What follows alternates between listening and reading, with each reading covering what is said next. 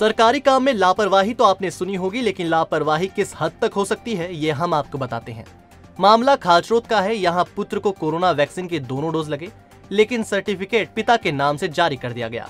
जबकि पिता की तिरानवे साल की उम्र में वर्ष 2018 में मौत हो चुकी है। लेकिन सर्टिफिकेट में उन्हें 26 साल का नौजवान बताया गया है।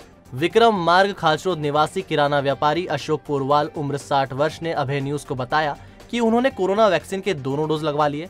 पहले डोज में उन्होंने आधार कार्ड को आइडेंटिटी प्रूफ के तौर पर प्रस्तुत किया था। डोज तो लग गया, लेकिन यह ऑनलाइन रजिस्टर्ड नहीं हुआ। दूसरा डोज लगने पर उन्होंने बतौर प्रूफ मतदाता परिचय पत्र दिया था। दूसरा डोज भी लग गया, लेकिन अब सर्टिफिकेट मृतक पिता शांतिलाल पोरवाल के नाम से जारी हो गया। आश्चर्य की बात तो ये है कि सर्टिफिकेट में तिरानवे साल की उम्र में जिन शांतिलाल का निधन हो चुका है, उन्हें 26 साल का बताया गया है।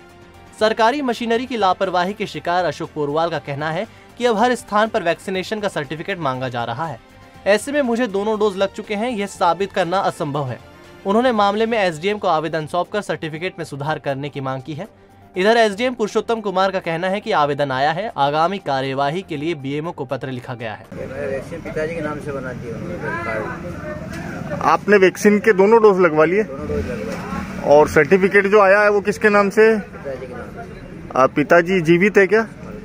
शांत हो गए कितना समय हुआ पिताजी को? तीन साल हो गए तीन साल हो गए। आ, कैसे हो गया फिर सर्टिफिकेट वैक्सीन का सर्टिफिकेट? पिताजी के नाम कैसे आ गया? तो प्रशासन की गलती है प्रशासन की गलती है।